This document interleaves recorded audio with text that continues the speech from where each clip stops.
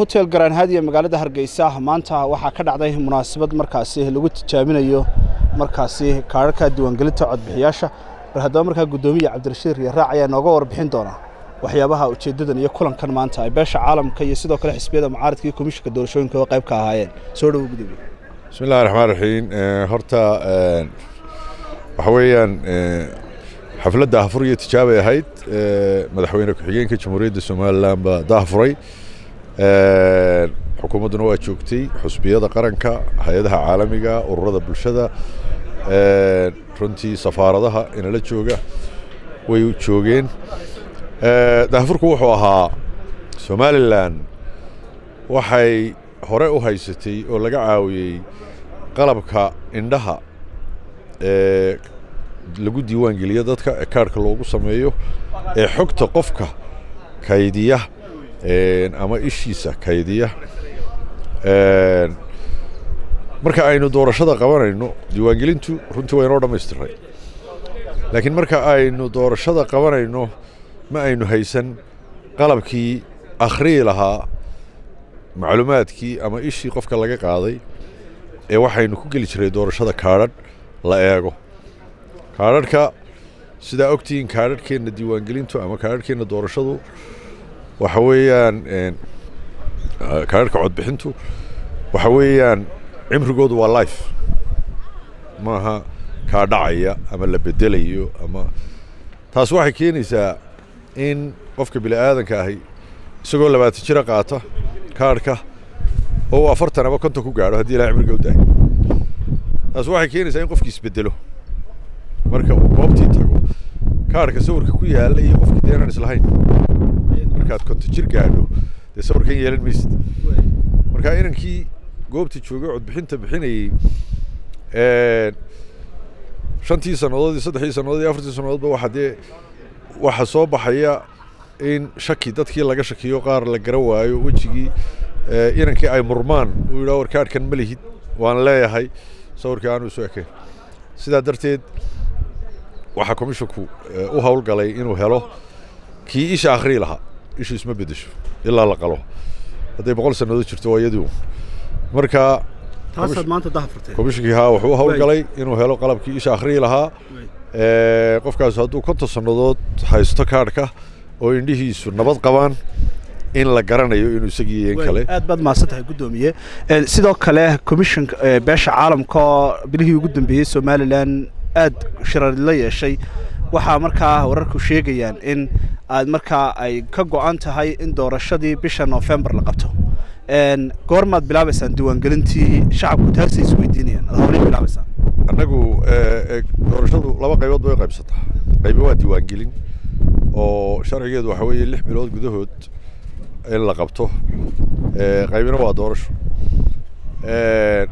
Doorashada waxaa had iyo jeer dhala ama keena.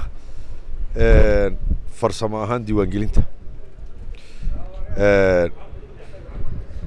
doorashadana dee sharcigu wuxuu dhigayaa commisshinku boqol iyo labaatan casho kahor buu ku dhawaaqi karaa. Waktiga doorashada la qabanayo. Haddeerna waxa weye waktigaad sheegtay saddex boqoloo maalmood ama saddex boqol iyo something maalmood bay naga xiga. Boqol iyo labaatan cashona waxay tahay ku dhawaaqisteeda marka si rasmiya diiwaangelinta u bilaabaysaa waxaynu maanta ka wada hadlaynaa diiwaangelinta waxaanu si rasmiya u bilaabaynaa haddii alla ka dhigo iminkaba hawsheedi waa ku jiraa waxa weeye diyaargarow badanoo horey leedahay. Diyaargarow dhaqaaley leedahay. Diyaargarow shaqaalayn bay leedahay. Diyaargarow shuruuc iyo nidaam la qoraabay leedahay. Ma aha uun marka goobta la tegaya qofka laga qaadayo. Laakiin waxaa ka horreeya steps aada u fara badan oo runtii maskaxiyan looga shaqeeyo. Kuwii hore wixii laga bartay wax laga bedelayo. Howlahaasoo dhan marka hadda way socotaa diiwaangelintu. Waxayse mudane guddoomiye. Waa dee doorashadii noofembar dhacday aad koob iyo soddonkii may dhacday aad baa lagugu ammaanay oo dee beesha caalamka somalilan aad baad ugu soo jeedisay. Maxaad ka filaysaa doorashooyinkan kale soo socdana? Insha allah horta ilaahay baa dee suuro geliyey shacabka somalilan baa suuro geliyey ku ammaanaa. Iyagaa ilaashaday doorashada annagu waxa aan kuu sheegayay aanu maskaxda ka soo saaray hadda ka shaqaynayno ayaanu dhignaa. Road maamkaanu jeexnaa iyo formilada laakiin cidda garabka naga siisa ee hagaajisa ee wanaajisa waa xukuumadda xusbiyada shacabka ciidamada ilaalinaya nabadgelyada ardayda ka shaqaynaysa. Dhammaan bulshada reer somalilan baa horta ku mahadsan. Marka dee ilaahay baa noo noo noo sahlay waay gabagabadii guddoomiye dee hadda xisbiyada mucaaradku tabasho cabashay qabaan oo ay leeyihiin markaa madaxweynuhu wuxuu ka cagajiidayaa in doorashadii ay dhacdo. Dhaqaalihii madaxweynuhu dee bar beeshii caalamkaa bixinaysa midooda yurub iyo u k qaybtii hadhay ee xukuumadda. Goormaad ku ballanteen inay saxeexaan raje intee leg baad qabtaa in madaxweynuhu lacagta uu u soo daayo komishinka doorashooyinka si doorashadii loo ambaqaado madaxweynaha jamhuuriyadda somalilan dhaqaalihii komishinka uu ugu talagalay doorashooyinka ama diiwaangelinta wuu diyaariyey. Dhaqaaluhu hadduu miisaaniyadda galo madaxweynaha uu soo dhaafay. Waxay ku xidhan tahay inaanu anagu dee dalabkayagii iyo hawshayadii samayno oo wasaaradda maaliyadda iyo bangiga dee kala shaqayno komishinku miisaaniyad buu leeyahy miisaaniyaddii waa la ansixiyey. Miisaaniyaddaasu annaga inoo taallaa inaanu inaanu inaanu hawlgelinteedii dalbanno. Madaxweynuhuna dee iminka cagajiidna anagu kuma hayno kamana cagajiidayo sababta waxaa weeye dee miisaaniyadday ku jirtaa maadaama ay miisaaniyadda ku jirto inaanu dalbanno un weeye waktiga munaasibka ah waxaa runtii bisha soo socotee march baa noo qorshaysan commissionka inuu dalbado dhaqaalaha dee miisaaniyadda ugu jira foojaradeedii qorto dabeedna dee wasiirku inuu abruuf gareeyo un bay ku xidhan tahay madaxweyne hadda kuma xidhna madaxweynena shaqo kuma le imaka mar hadday miisaaniyaddii u qoray golaha wasiiradu ansixiyey golaha wakiilada tagtay la ansixiyey. Waxa shaqo kule waxa weeye sii deynteeda systemka dee maaliyadda wasiirka maaliyadda xisaabiyaha guud bangiga ayaa ku shaqo leh. Iyaguna dee waxaanu isleenahay waa idiin diyaar laakiin bisha march baanu anagu hawsheedaa gelayna haddii alla ka dhigo. Dee markaa gabagabadii guddoomiye dee hadda somalilan waa tanoo waxay cagta saartay arrimaha doorashooyinka qayb baanay ka tahay oo beesha caalamka aad bay indhaha uga haysaa. Maxaad talo u soo jeedinaysaa xukuumadda xisbiyada mucaaradka iyo sidoo kale shacabkaba?